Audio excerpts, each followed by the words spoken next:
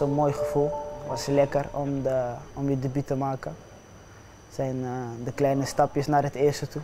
Dus dat is lekker om je debuut te maken. Ja, kun je eens vertellen hoe dat is om het grote mannenvoetbal in te stappen dan? Hè? Want er wordt veel over gezegd. Het is een heel mooi middel voor jonge talenten om een jong PSV te spelen, om minuten te maken in het betaald voetbal. Kun je eens beschrijven hoe dat is en hoe groot die stap is?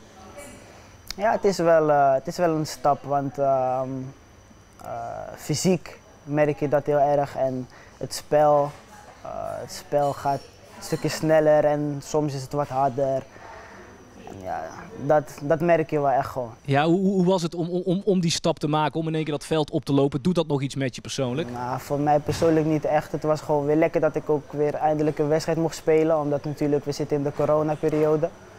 En uh, met mijn eigen team had ik eigenlijk geen wedstrijd meer gespeeld. Dus voor mij was het ook voornamelijk gewoon lekker dat ik weer een uh, wedstrijd mocht spelen.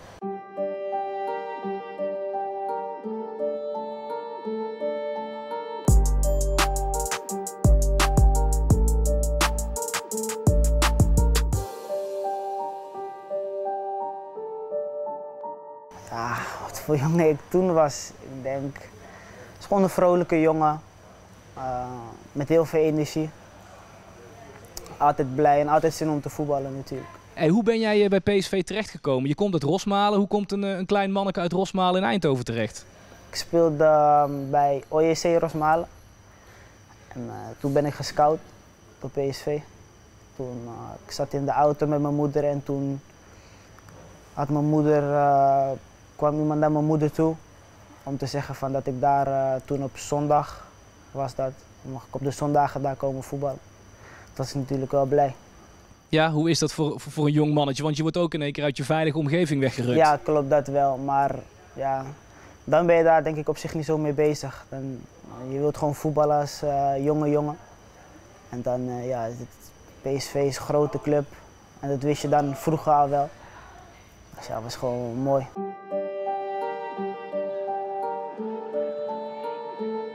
Blijft omlaag. Dan is dit de kans voor Antonissen en hij schiet hem erin. Het is 1-0 voor Jong PSV. Jeremy Antonissen met zijn eerste. Het eerste doelpunt is er voor Jong PSV. Voor mij was het een hele erge opluchting, omdat ik um, um, de tijd, zeg maar dat ik bij Jong kwam, uh, speelde ik goed, maar ik was nog echt op zoek naar mijn doelpuntje. En dan was het tegen Cambuur, viel die dan eindelijk. En daar was ik natuurlijk wel blij mee. Tijn uh, uh, stuurde mij weg en uh, toen liep ik één op één met de keeper. Toen schoot ik hem nog tegen de, eerst tegen de paal. En toen dacht ik al van niet weer zeg maar, niet weer tegen de paal. Want daarvoor had ik ook al tegen de paal geschoten, vorige wedstrijd.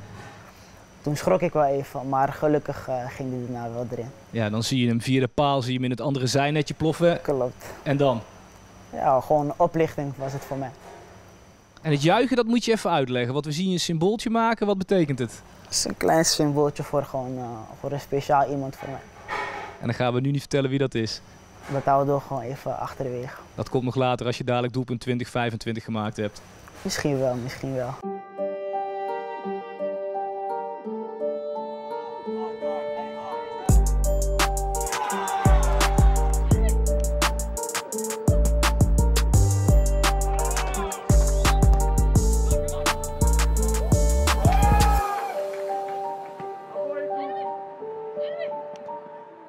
Ja, het beeld stopt op een heel flauw moment, maar kun je vertellen wat er gebeurt na dit moment? Ik uh, legde hem volgens mij nog één keer goed voor mezelf.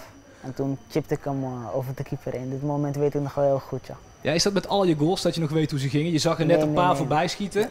Toevallig de, de beelden wat jullie net hebben laten zien, die herinner ik me wel allemaal gewoon. Is dit, ehm, ja, als we deze goal nou eh, zo zien, zijn, is dit een goal die je vaker maakt? Of wat is een typische Jeremy Antonissen goal? Als ik het aan jou zou vragen of aan jouw teamgenoten? Vroeger zeg maar, nu, ehm, de tijd van dit beeld ook, scoorde ik vaak met chipjes. Omdat keepers toen klein waren, maar nu ehm, eh, vaak dat ik naar binnen dribbel en dan zoek ik de lange hoek. Dat is denk ik wel een eh, typisch Jeremy goal. Ja, ben jij een scorende speler of ben jij meer een dienende speler? Ja, ik heb zo mijn seizoenen wel gehad dat ik heel veel doelpunten heb gemaakt. Maar ik heb ook ehm, seizoenen gehad waar ik gewoon heel veel acties maak en assisten geef. Maar ik denk wel dat ik meer doelpunten dan assisten heb. En wat zijn nou cijfers die jij aan het einde van het seizoen wil overleggen qua doelpunten, qua assists? Waar moeten we dan aan denken? Wanneer ben je tevreden? Ik weet niet precies hoeveel cijfers, maar ik mag zo zondag wel uh, wat doelpuntjes erin leggen.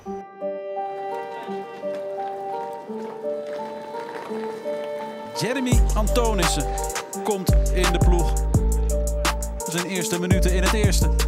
Antonissen mag uh, al vier minuten mee gaan doen. Ja, Jeremy, dit waren vier minuutjes in het eerste elftal van PSV 1. Vier minuutjes, dat klinkt dan heel kort en heel klein, maar hoe was het voor jou deze dag? Dat was mooi, dat was een mooie dag. Die jongens hebben me goed opgevangen daar en uh, ze feliciteerden me ook allemaal gewoon gelijk.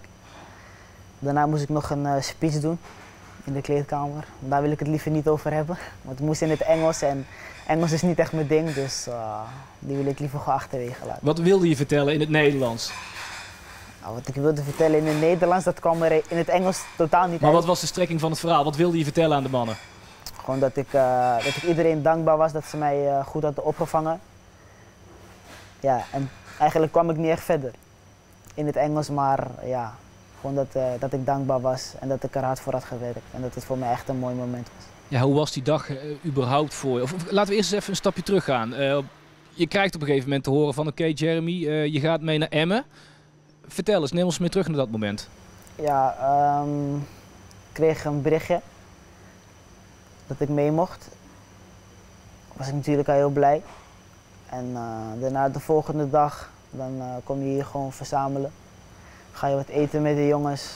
Daarna gingen we volgens mij naar, uh, naar het hotel. Deden we daar de bespreking en tijdens de bespreking voel je wel echt van, oh je zit erbij zeg maar. Dan, toen kwam het gevoel pas echt. Dan kom je daar aan en zie je je shirtje hangen met je naam. Dan denk je van, ja, denk je wel van, het is prachtig om dat allemaal mee te maken. Ja, en dan uh, zegt de trainer, het was niet Roger Schmid die avond, maar dan zegt de trainer van, uh, nou Jeremy, ga maar warm lopen. Dat gebeurt wel vaker, dat wisselspelers gaan warm lopen, maar dat was al een klein stapje richting, in de goede richting. Vertel eens, je gaat warm lopen en wanneer krijg je dan het idee van, hey, misschien, wellicht? Eigenlijk had ik het idee helemaal niet meer, maar toen de 1-0 viel, toen dacht ik al van, misschien gaat hij me toch nog wat minuutjes geven. En toen de 2-0 viel, toen uh, was iedereen aan het juichen, ik ook natuurlijk. En toen keek ik wel even naar die kant van of ze ook naar mij keken. En toen gelukkig keken ze en riepen ze. En toen uh, sprinten natuurlijk naar daar, kleren uit en uh, erin. Ja, wat is je gevoel dan als je daar langs de kant staat met rug nummer 57 is het geloof ik. Het bord gaat omhoog, uh, Zahavi gaat van het veld, uh, Donny Malen volgens mij ook. Uh, ja, vertel eens, wat betekent dat voor een jong gast als jij? Ja, dat is prachtig. Je denkt, natuurlijk, hier werk je altijd, hier heb je hard voor gewerkt. En dan mocht het eindelijk, mocht ik mijn debuut maken, dus dat is mooi. Ja, dan is ook altijd weer iemand die heel erg uh, vaderlijk tegen jou zegt van ja, maar Jeremy, we zijn er nog niet. Dit zijn vier minuutjes in PSV 1. Klopt. Vertel eens, hoe zie, je, hoe zie je de toekomst? Hoe moet het verder? Ja, gewoon um, meer minuten gaan maken. Ja, ik speel natuurlijk wel alles gewoon bij Jong tot nu toe. En dat gewoon blijven volhouden. En natuurlijk meer doelpuntjes gaan maken daar. Uh, me gewoon bewijzen voor Jong.